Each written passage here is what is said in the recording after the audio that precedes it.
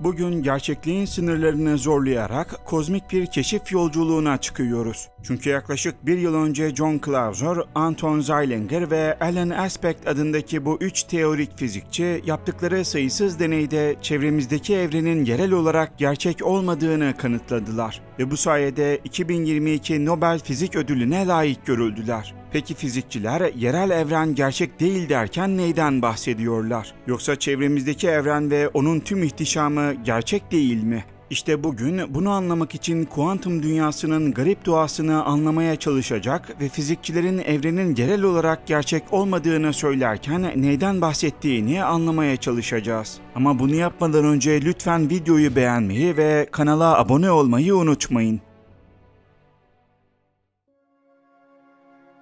Şimdiye kadar bu kanalda büyük yok oluşları, kara deliklerin doğasını, yaşanabilir gezegenleri ve hatta zaman yolculuğunun mümkün olup olmadığı gibi pek çok konuyu işledik. Ancak bunca şeyin arasında ışığın ne olduğunu işlemedik ve pek çok insanın ışığın ne olduğunu bilmediğinden eminim. Bu yüzden evren yerel olarak gerçek değil cümlesini anlamak için yapmamız gereken ilk şey ışığı kısaca anlamak olacaktır.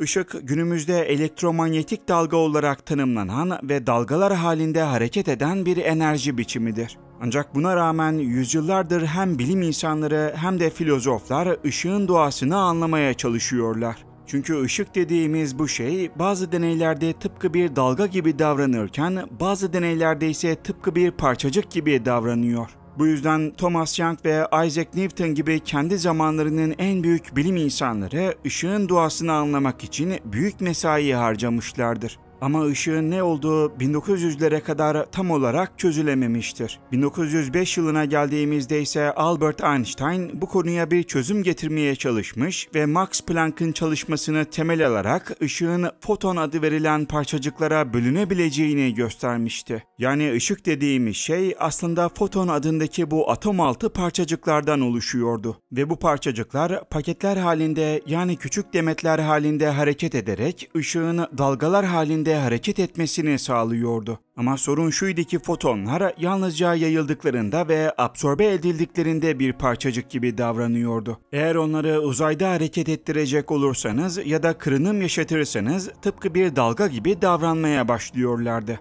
Aslında bu garip durum foton gibi tüm kuantum parçacıklarının yaptığı sinir bozucu bir davranıştır. Ve 1920'lere kadar bu sorun pek çok bilim insanının kafasını kurcalamıştır. 1920'li yıllarda ise Alman fizikçi Max Born, foton gibi kuantum parçacıklarının ölçülene kadar kesin değerler içermediğini söyleyerek bize mantıklı bir açıklamayla geldi ve kuantum mekaniğine ciddi katkılarda bulundu. Yani Max Born'a göre yalnızca istatistiksel olasılık mevcuttu. Onun bu açıklamasını anlamak için şu örneği verebiliriz. Bir basketbolcu şut atarken doğal olarak elindeki topu çıkarır ve potaya doğru gönderir. İşte Max Born'un açıklamasına göre o top elden çıktığı andan deliğe girdiği ana kadar bir olasılıklar bulutu olarak vardır. Bu örnekte olduğu gibi kuantum parçacıklarını basket topu gibi büyük bir nesneyle karşılaştırmak yanlış olsa da olayın özünde anlatmak istediğim şey kuantum dünyasında işlerin bu şekilde yürüdüğüdür. Üstelik bu durum yapılan pek çok deneyle de kanıtlanmıştır ve foton gibi atom altı parçacıkların davranışı ancak bu şekilde açıklanabilmektedir. Max Born'un kuantum parçacıklarının ölçülene kadar kesin değerler içermediğini söylemesi, başta Einstein olmak üzere pek çok kişinin bu fikre karşı çıkmasına neden oldu. Ancak Heisenberg ve Bohr gibi bilim insanları da bunun tam aksini düşünüyordu ve Bohr'un açıklamasını doğru buluyorlardı. Yani bu noktada farklı fikirlere sahip iki insan topluluğu ortaya çıkmıştı. Einstein gibi düşünenler gerçekçiler olarak anılırken Heisenberg ve Bohr gibi düşünenlerse olasılıkçılar olarak anılmaya başlandı. Peki bu iki grup neye inanıyordu? Einstein'ın başını çektiği gerçekçiler evrendeki nesnelerin yalnızca yakın çevrelerinden doğrudan etkilendiğini, kuantum parçacıklarının ve atomların ister istemez kendilerine özgü özelliklere sahip olduğunu ve herhangi bir etkinin ışıktan daha hızlı ilerleyemeyeceğini savunuyorlardı. Onların savundukları bu ilkeye yerellik ilkesi de denilmektedir. Ancak olasılıkçılar parçacıkların ölçülene kadar henüz karar vermemiş özelliklere sahip olduğunu ve ölçüldüklerinde ışıktan hızlı bir şekilde birbirleriyle etkileşime girdiğini düşünüyordu. Onlara göre de evren atom altı ölçekte olasılıkçıydı. İki grup arasındaki bu tartışma yıllar boyunca sürmüş ve hatta bu tartışmalar nedeniyle Schrödinger'in kedisi gibi pek çok düşünce deneyi ortaya çıkmıştı. Bu iki grup arasındaki tartışmayı alevlendiren şey ise kuantum dolanıklığıydı. Peki kuantum dolanıklığı nedir? Kuantum dolanıklığı iki veya daha fazla parçacığın fiziksel özelliklerinin aralarındaki mesafeden bağımsız olarak birbirini etkileyebilmesidir. Örneğin elektronların spin olarak bilinen bir özelliği vardır ve iki dolanık elektronu ayırıp birbirlerinden binlerce ışık yılı uzağa götürseniz bile aralarındaki etkileşim hala devam etmektedir. Yani elektron gibi atom altı parçacıkların arasında muazzam mesafeler olsa dahi birbirleriyle ürpertici bir şekilde sürekli etkileşim halindedirler. Üstelik bu etkileşim aralarındaki mesafe milyarlarca ışık yılı olsa bile devam eder. Bunu daha iyi anlamak için size şu örneği verebilirim.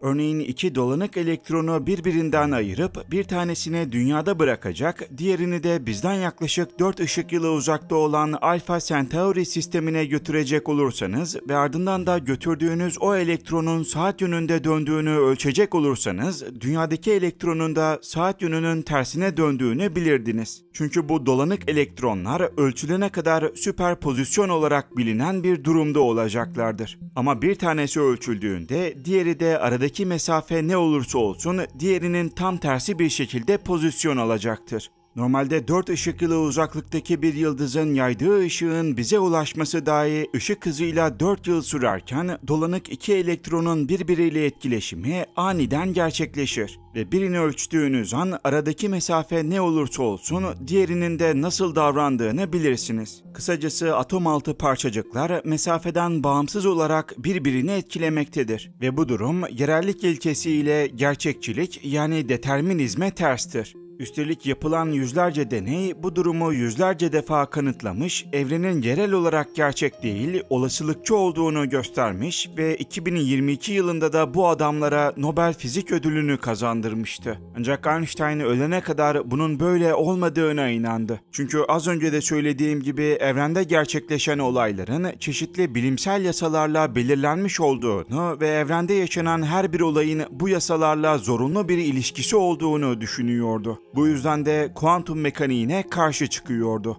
Hatta 1935 yılında öğrencileri Boris Podolsky ve Nathan Rosen'la beraber kuantum mekaniğini eleştirmek için bir makale yazdılar. Günümüzde EPR paradoksu olarak bilinen bu makalede kuantum mekaniğinin tamamlanmamış bir teori olduğundan bahsediliyordu. Makalede evrenin olasılıkçı değil, gerçekçi yani determinist olduğu söyleniyor ve evrende gerçekleşen olayların çeşitli bilimsel yasalarla belirlenmiş olduğu anlatılıyordu. Birbirinden ayrılıp binlerce ışık yılı uzağa gönderilen dolanık parçacıklarınsa ışık hızından daha hızlı bir şekilde iletişim kuramayacakları çünkü evrende hiçbir şeyin ışıktan hızlı hareket edemeyeceği savunuluyordu. Bu yüzden EPR paradoksuna göre dolanık parçacıklar daha ayrılmadan önce hangisinin neye dönüşeceğini belirleyen gizli bir mekanizmaya sahip olmalıydı. Yani Einstein orada bir yerde bu dolanık parçacıkların nasıl davranacağını gösteren belli bir kuralın olması gerektiğini düşünüyordu ve bu kural sayesinde dolanık parçacıkların haberleştiğini savunuyordu. Hatta bu mekanizmanın ne olduğu bilinmese de ona gizli değişken adını vermişti. Ama tüm bu makaleye Einstein'ın prestijine ve baskılara rağmen Niels Bohr gibi olasılıkçılar fikirlerinden hiçbir zaman vazgeçmediler ve kuantum mekaniğinin evrendeki parçacıkların doğasını tanımladığını, evrenin atom altı ölçekte olasılıkçı olduğunu savunmaya devam ettiler. Yıllar sonra yani 1964 yılında ise bu tartışmayı sonlandıracak bir adam ortaya çıktı ve o adamın adı John Bell'di. Bell, Einstein'ın EPR makalesini okuyup spin deneyini çözmek için kollarını sıvamıştı ve ortaya koyduğu bilimsel araştırmalar Bell teoremi olarak bilinmişti. Onun 1964'te yaptığı bu çalışmalar 2022 yılında bu adamlara Nobel ödülünü kazandıracaktı. Peki Bell teoremi nedir? Bell teoremi Einstein'ın iddia ettiği gibi ortada gizli bir değişkenin olmadığını ve fiziksel gerçekliğin yerel olmadığını söylemektedir. Tercüme edecek olursam bu teorem kabaca evrenin atom altı ölçekte yerellik ilkesine bağlı olmadığını ve kuantum sistemlerinin birbirleriyle uzaktan bile bağlantılı olduğunu gösteriyordu. Aynı zamanda bu teoreme göre kuantum sistemleri çok büyük ölçeklerde bile kesin bir şekilde tahmin edilebilirdi. Üstelik bununla ilgili sayısız deney yapılmış ve bunlar kanıtlanmıştır. İlk başarılı deneyler 1970'lerin başında John Clauser ve arkadaşları tarafından gerçekleştirildi. 1980'lerin ortasına geldiğimizde ise Alan Aspect ve CERN'deki ekibi bu deneyleri tekrarladı ve yapılan her deneyde Einstein'ın biraz daha yanıldığı anlaşıldı. Çünkü yapılan her deney evrenin olasılıkçı olduğunu söylüyordu. İşte yaptıkları deneylerde evrenin gerçek değil, olasılıkçı olduğunu kanıtlayan bu üç adam 2022 yılında Nobel